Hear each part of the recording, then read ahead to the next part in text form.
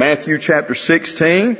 We'll begin reading in verse number 13, Matthew 16 verse 13, and just a little simple encouragement here from the Word of God. The Bible says, when Jesus came into the coast of Caesarea Philippi, he asked his disciples saying, whom do men say that I, the Son of Man, am? And they said, some say that thou art John the Baptist, some Elias, and others Jeremiah, or one of the prophets. He saith unto them, But whom say ye that I am? And Simon Peter answered and said, Thou art the Christ, the Son of the living God. Jesus answered and said unto him, Blessed art thou, Simon Barjona, for flesh and blood hath not revealed it unto you, unto thee, but my Father which is in heaven. And I say unto thee that thou art Peter, and upon this rock I will build my church, and here's what I want to look at, and the gates of hell shall not prevail against it. And I will give unto thee the keys of the kingdom of heaven, and whatsoever thou shalt bind on earth shall be bound in heaven, and whatsoever thou shalt loose on earth shall be loosed in heaven. Father, I'm honored to stand in this place tonight. And Lord, I understand my weakness and my frailty, but dear God, I also understand your power and your might. And I pray that you'd speak through the, uh, through the weak, stammering lips of this servant. Use us, Lord, to uh, proclaim the precious truths found in your word tonight. And we'll thank you in Christ's name. Amen. Amen. I tell you, church, the church is under attack today. If there's ever been a day where the church is under attack, I believe it would be today. And, but I want to report to you today that the church is not going down, she's going up. And, uh, maybe sooner than we think. And I love the church. Do you love the church? Thank God for the church. Down through the centuries since the birth of the church, the church has been under attack. She's been attacked from without. I mean, there's been attacks coming in from all angles, from every direction, from the outside, but she's been attacked from within also. And uh, if you will, just turn, look, keep your finger there and look back at Acts, the book of Acts. And then if you'll look at Acts chapter 11, I believe you'll see that uh, although she's been under attack, thank God she has been faithful to grow and to move forward. Let's see if I can find the book of Acts in my Bible. Acts chapter 11. Notice this, it says in Acts chapter 11, in verse 19, now they which were scattered abroad upon the persecution that arose about Stephen travailed as far as uh, Phoenicia and Cyprus and Antioch, preaching the word to none but to Jews only.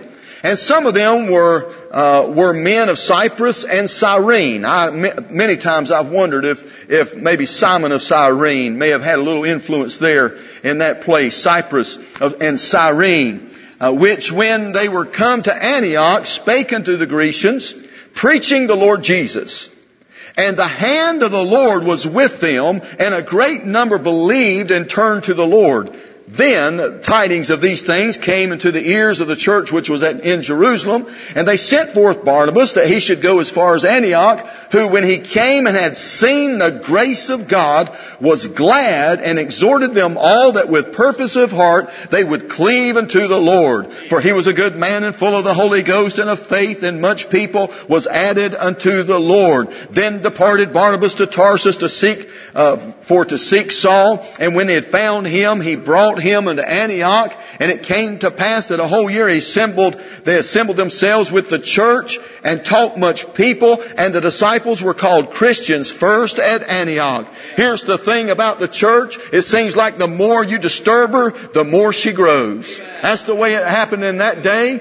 She got scattered because of the persecution of Stephen, and when she got scattered, and really I guess the Lord allowed that because in Acts chapter, I mean in uh, Acts chapter 1 verse 8, God told them, you go and be witnesses of me in all these places. In Acts chapter 8 verse 1, they did go there, but it was a result of the persecution. And as a result of that persecution, God began to grow His church and move it forward. Listen, I'm telling you, we're under attack today. We're attacked, we're attacked from within. I believe that a lot of times we're just like those tares that have been sown among the wheat. While men slept, the Bible says in Matthew 13 that men sowed tares among the wheat. Speaking of the enemies uh, that's trying to slip into the church. Jude knew something about that. He knew that uh, men had, certain men had crept in unawares, crept in like that Trojan horse and spreading stuff. I'll tell you, our church today is not many churches today are in a mess because of the things they've let into the church. And uh, the church is be a, to be a separated, called out body of believers. We're not supposed to have the world in the church. The world, we're supposed to be different from the world, called out from the church. But Satan has tried to inflict her. Sin has tried to infect her. Society has tried to inject her. But I've got some good news for the child of God. When the last shot is fired, I believe when the dust is settled, and I believe the old bloodstained banner will still be flying. Amen. Thank God for the church tonight. Thank God we have an unstoppable church. The church called many things in the Bible. It's called the body of Christ in Colossians 1.24. It's called the bride of Christ, Revelation 21.9. It's called the church of the living God in Acts chapter 20 verse 28. It's called the church of the firstborn, Hebrews 12.23. It's called the flock of God, 1 Peter 5.2. It's a house of God, a spiritual house, a temple of the living God. Thank God for the church. I love the church. What is a church? A church is not a building with a steeple. Thank God I love the church building. And uh, I love the brick and the mortar. I love everything about the church. I love the songbooks. I I love to hear people. I love to hear the leaves rustling when they're turning, trying to find a place in the Bible. I love to hear the fellowship when I'm outside and coming in, hearing people laughing and chattering and having a good time. I love everything about the church. But one of the greatest things I love is the people. That is the church people with good intentions that come here and they'll, they'll compliment us and say, oh, you've got a beautiful church. And, and I know what they're saying, but I, I just, I always say, yeah, we've got some wonderful people here. And uh, to help them get back on track. We, we do have a nice facility. We got a beautiful building. But the beauty of the church is the people. I'm telling you, our church family is the most beautiful thing that we have is, is the people that God puts in the church. And our goal is to have it stay beautiful. We don't want anything unclean or dirty or a wrong spirit or foul, a foul air in it. We, we want to have a sweet spirit. We want the fruit of the Holy, the blossoms of the fruit of the Holy Spirit in the church. That's what we want to keep. But the church is its people, all kinds of people. You think about, he says, I will build my church. That's that called out body of believers. That means fat people and skinny people like me and Mr. Buddy and, and ugly people and good looking people. Uh, amen. Uh, ignorant and intelligent people like me and Mr. Buddy. Amen. American, Japanese, Mexican, uh, every, every walk of life. Thank God for the church family.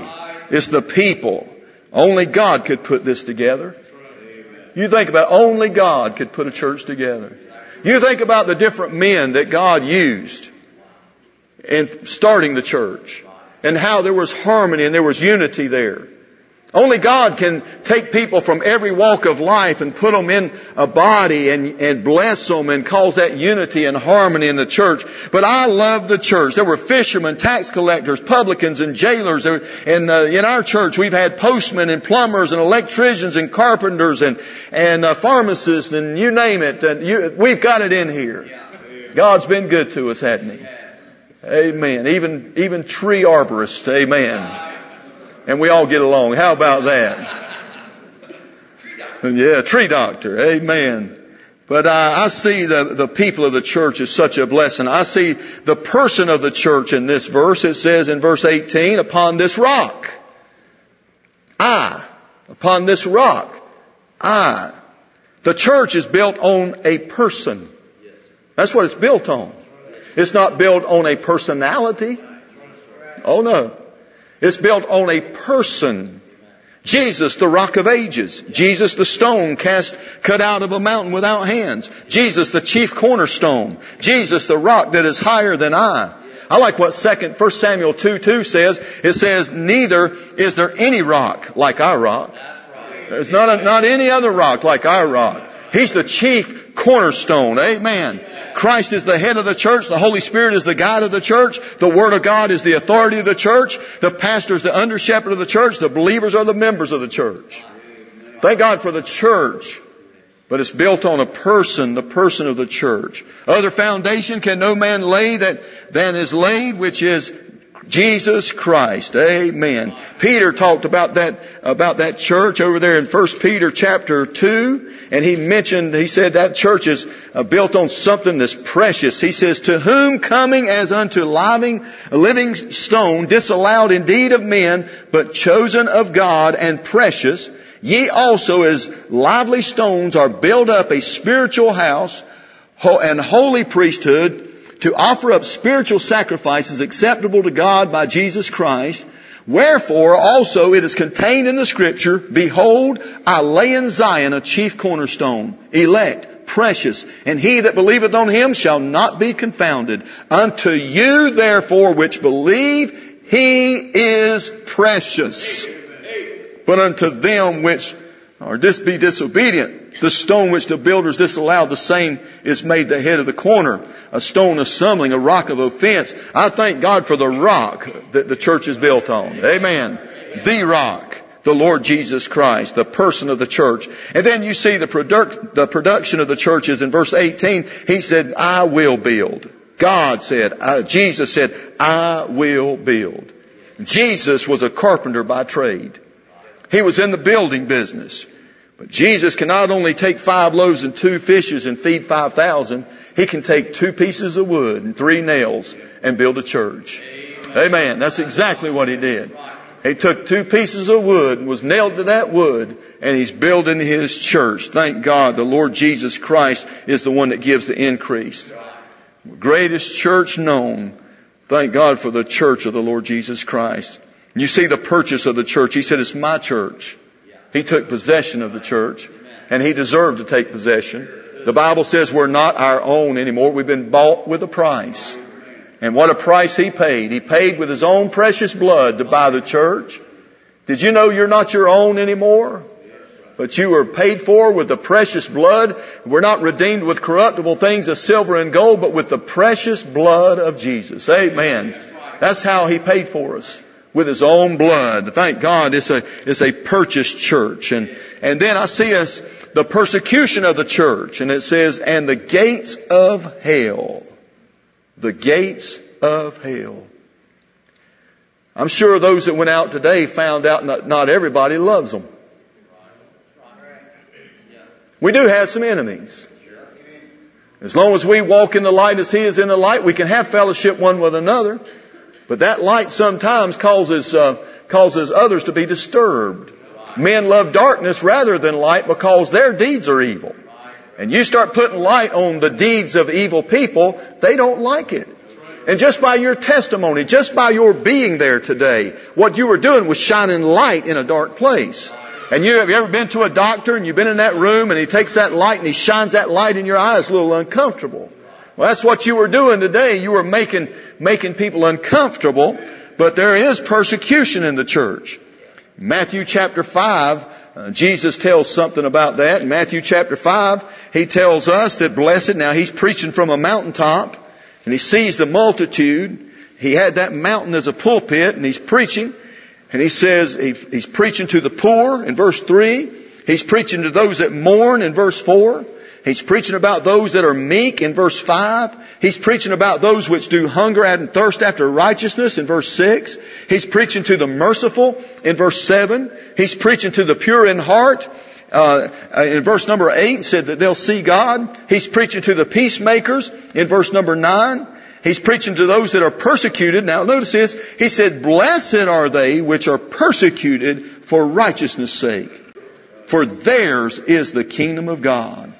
He says, Blessed are ye when men shall revile you and persecute you and say all manner of evil against you falsely for my sake. He says, Rejoice and be exceeding glad, for great is your reward in heaven. For so persecuted they the prophets which were, which were before you. Ye are the salt of the earth, he says in verse 13. Ye are the light of the world. You know, there's something about salt. Salt creates a thirst. You know that. It should create a thirst. Salt keeps corruption out. You put it on a ham to keep it from corroding and, or being corrupt. And then salt creates that thirst. And then also if you get an open wound, you know what it'll do? It'll burn. It stings. And that's what happens to the child of God when you get around somebody that's lost or away from God. What you're doing is stinging them a little bit. If you've lost your saltiness, you probably get around and they can tell their dirty jokes around you and it doesn't bother them at all. But if a, if we're a good salty Christian and a good saline uh, solution Christian, I'm telling you there will be some burning. And you're going to irritate somebody. But we need to have that we, we're going to be persecuted, but the Bible says the gates, notice that, the gates of hell, the gates of hell. This, the gates are not an offensive thing. The gates are defensive. That's what a gate is. It's a defense. We're not supposed to be on the defense. Jesus said the gates of hell. Isn't that what he said? The gates of hell shall not prevail. So what's that tell me? That tells me we're supposed to be on the charge. Amen. We should be charging the gates of hell and rescuing those people and snatching them from the pit. Amen. That's what we're supposed to do. Amen. We see the persecution of the church, and then you see the protection of the church. He says, and the gates of hell shall not prevail, shall not prevail against it. Jesus says he's the, he is building his church and the gates of hell shall not prevail. The Lord is telling us that all the policies and all the powers and all the wicked imaginations that are hatched in hell cannot overcome, will not triumph, cannot succeed. Amen. That's what he's saying. They will not. Thank God you and I cannot lose. Amen. My Bible tells me if God be for me, and He is, if God be for me, who can be against me? Amen. Yeah, there's, and the Bible says, for what shall we say to these things? If God be for us, who can be against us? The Bible says in verse 37, we're more than conquerors. More than conquerors. Not just conquerors, more than conquerors. I want you to notice the purpose of the church. He says, and I will give unto thee the keys. Amen. The keys. Was Peter the only one with the keys? No. No, you think of what keys do. Keys lock people in. Keys let people out. Isn't that right? Well, that's what we ought to have. We got the keys. There are people that are going to be locked up in hell forever. Forever. Not just for a week or a month or a year, but forever. But thank God we have the key. Amen. I know what the key is. As a matter of fact, I believe it's Isaiah talked about the key shall be upon his shoulder. Amen. Yes, sir. And he marched up Calvary's hill with that key on his shoulder. And that unlocks eternal damnation. Amen. And releases there's now therefore no condemnation to them which are in Christ Jesus. And we need to do everything we can to release people from the, from the bondage of sin. Amen. Give them that hope, that only hope that we can. Then the persistence of the church. I'm telling you in Acts chapter 4 verse 19 through 33, I believe that the church is, needs to just keep going on. Amen? Amen. Just keep plowing ahead, church. Don't stop. And I know that we'll make it all the way. Because why? Because of His promise. Amen. He gave us His promise. This is His promise. And you know what He said? He said, I will. He didn't say I might. He said, I will build my church. It was a great day in my life when I realized it's not my responsibility to build the church. It's not. It's my responsibility to be faithful, but it's His responsibility to build the church. And the Bible says that uh, in the book of Acts, the Lord added to the church daily such as should be saved. It didn't say the preacher did. It said the Lord added to the church daily. And uh, he says, I will build. He said, they shall not prevail and I will give. Amen. I will. I will. I will. You love the church tonight? Amen. I love it. Thank God for the church. I thank God for the church. It's been, it's been everything to me. The church is where I met my dear wife and stood at an altar. I stood at an altar at a church. After I got saved, it was at the altar where I got gloriously saved. Bowed, trusted Christ as my personal Savior. It was at an altar where I met my wife and we held hands and we joined together and we've been in this journey together now for many years. It was at the church where my children learned to sing and, and enjoy the goodness of God. It's at the church where I heard and got my, my, my hide tanned and got my whoopings. Amen. And got straightened out. I'm glad the Word of God's given for correction. The, all Scripture is given by inspiration of God and is for correction. And uh, it was at the house of God where I learned some things, like Brother Thomas mentioned, and uh, teaching us that uh, denying ungodliness and worldly lust, that we should live. There's the negative and then there's the positive, that we should live soberly and righteously in this present world. It was at the church house where I learned that. Thank God for the church. Oh no, the church isn't going down. It's going up. Now, there's some buildings that are called churches that aren't churches. But God's church, His true believers, those that have put their trust in the Lord Jesus Christ, we're going to be okay. Amen. Amen. We're going to be all right in the midst of a perverse world, a perverse nation. The church of the living God is going to go on. You know what? We're a peculiar people. We're not supposed to be like the rest of the world. Amen. Amen. Thank God I've met some pretty peculiar people in the church. Amen. Some peculiar characters, but thank God for the church. I love every one of them. Amen. Amen. Let's stand. We'll have prayer. Father, I thank you for your word and I pray that you'd please bless and help us. Lord, as we walk with you, Lord, to ever be mindful how much you love the church. Lord, you love the church enough to give your own blood for it. Lord, may we have a greater love for the church, the church family, our dear brothers and sisters in our family. Lord, we've got, we've got more than one mother and father. Lord, you've given us mothers and fathers and people we can look to in the church. God, I thank you, Lord, uh, for the pillar and ground of truth, the church. Please bless your word, our hearts in Jesus' name. What are we singing?